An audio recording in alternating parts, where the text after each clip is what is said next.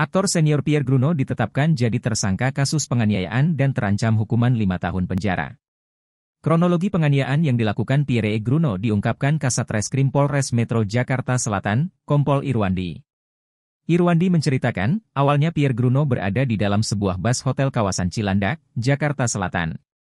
Pierre Gruno tak terima melihat gestur korban penganiayaan, Giri di Budi Setiawan.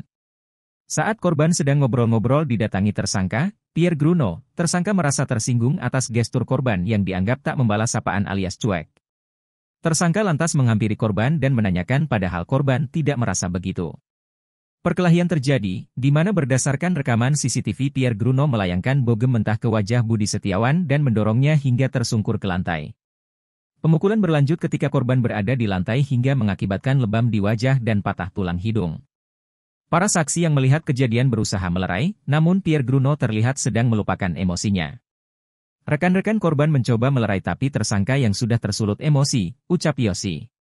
Dalam kejadian, polisi membenarkan jika Pierre tengah asik menikmati minuman alkohol. Dalam proses peristiwa itu dalam kondisi sadar memang minum alkohol tapi bukan berarti mabuk, tutup Henrikus Yosi.